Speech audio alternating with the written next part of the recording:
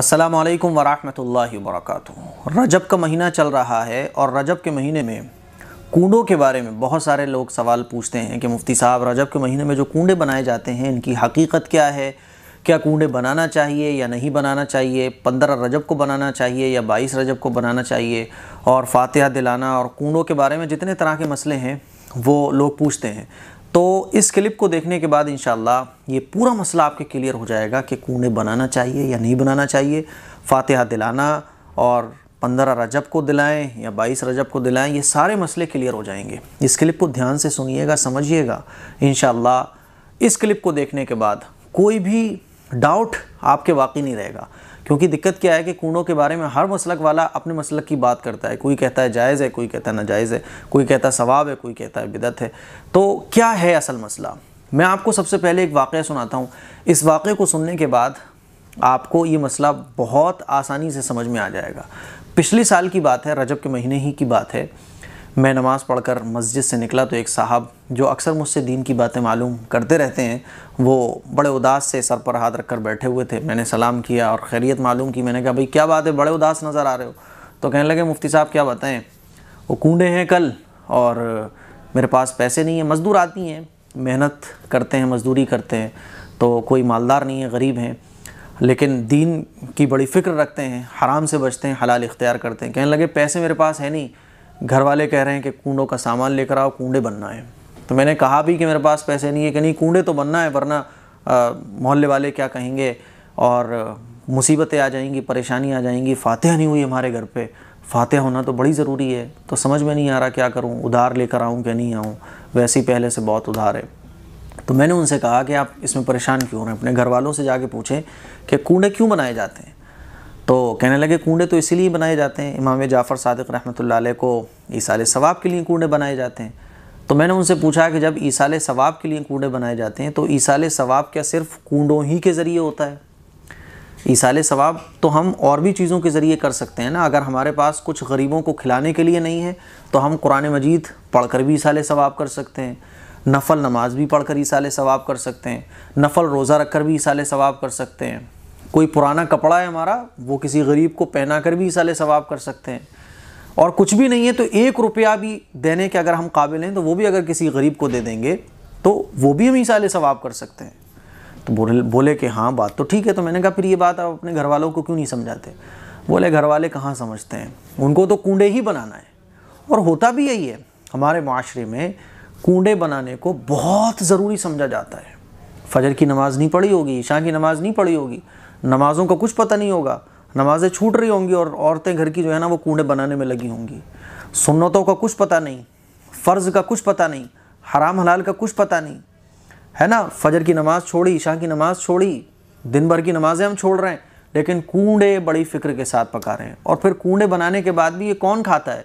घर के ही लोग खा जाते हैं, पड़ोस को बुला लाए, उस रिश्तेदार के यहाँ पहुँचवा दिए। गरीब के पेट में वो फिर भी नहीं पहुँचता। ईसाल सवाब का मकसद ही ये होता है कि जो चीज़ हम बना रहे हैं, वो गरीब के पेट में पहुँचे, भूखे के पेट में पहुँचे। लेकिन वो पहुँच हमारे ही पेट में रही तो फिर ये कैसा ईसाल सवाब है? और ईसाल सवाब के लिए तो कोई ज़रूरी नहीं होता कि आप कुछ पकाएँ, कूडे ही बनाएँ। ये बात मैंने उनको समझाई, फिर उन्होंने अपने घर वालों को समझाई होगी, अल्लाह बेहतर जाने फिर क्या हुआ। लेकिन ये हर घर की कहानी है।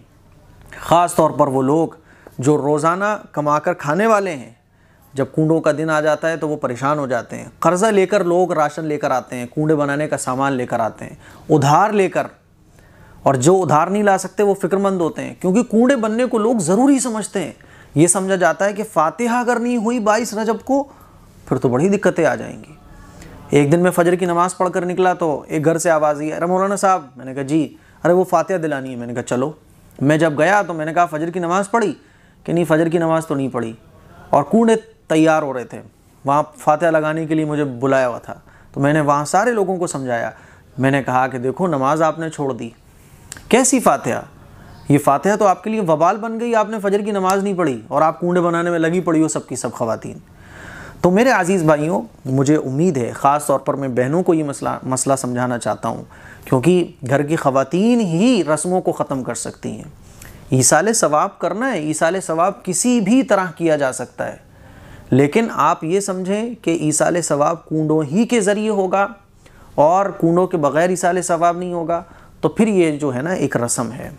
तो मुझे उम्मीद है ये मसला आपके क्लियर हो गया होगा कि हम जो कूडे बनाते हैं, हमारे माशरे में जो कूडे बनते हैं, वो इसलिए बनते हैं कि इमाम जाफ़र सदक रहमत को ईसाल सवाब करना है। फ़ातिहा का मकसद क्या होता है? फ़ातिहा का मतलब क्या होता है? फ़ातिहा का मतलब और मकसद ये होता है कि हम कोई खाना हमने बनाया उस पर हमने फ़ातिहा दिलाई। अब वो खाना गरीबों को खिलाया जाता है ताकि इसका सवाब जिसको हम पहुंचाना चाहते हैं, उनको पहुँच जाए। होता क्या है कि हमने फ़ातिहा दिलाई, अब वो खाना हम खुद ही खा जाते हैं। भाई, सवाब तो जब पहुंचेगा ना, जब वो खाना आप गरीब को खिलाओगे। आपने कूडे बनाए, लेकिन वो खाना, वो कूडे तो आप खुद ही खा रहे हो। और कूडे को आप ज़रूरी समझ रहे हो। नमाजें छोड़कर आप कूडे बना रहे हो तो ये गलत है। तो मकसद क्या है कूडे बनाने का? वो आप समझें। मकसद है ईसाल सवाब, इमाम जाफ़र सदक रहमत को, और ईसाल सवाब के लिए कूडे बनाना ज़रूरी नहीं है।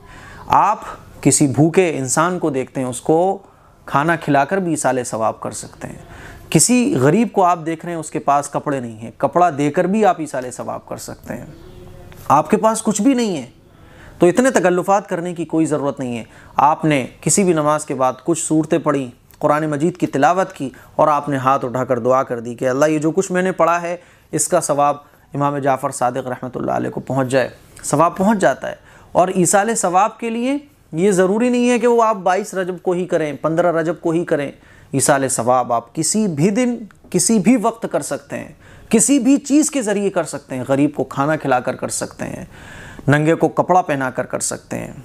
किसी किसी बीमार को दवा दिलाकर भी आप ईसाल सवाब कर सकते हैं। जितने भी नफली काम हैं, नफली इबादत हैं, उनका, उनको करके आप उसका सवाब भी किसी मरहूम को पहुँचा सकते हैं।